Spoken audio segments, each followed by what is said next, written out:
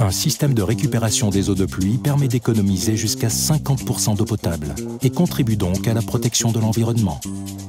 Quel est le temps nécessaire pour amortir un tel système? Graf a conçu des systèmes de récupération d'eau de pluie ne nécessitant qu'un minimum d'entretien. Le filtre auto-nettoyant Optimax Pro est installé directement dans le dôme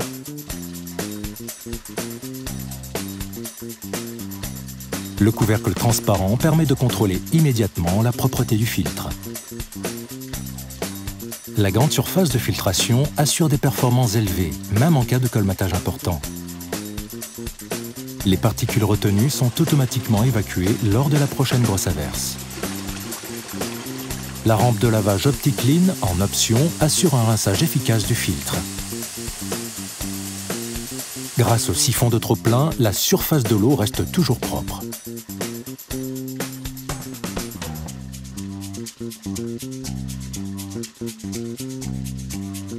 Il est recommandé de contrôler et de nettoyer le filtre Optimax Pro deux fois par an.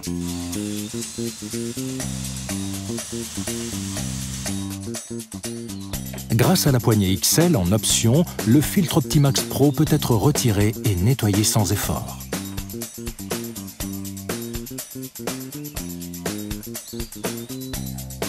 Il est recommandé d'installer un microfiltre lorsque l'on alimente les toilettes ou la machine à laver.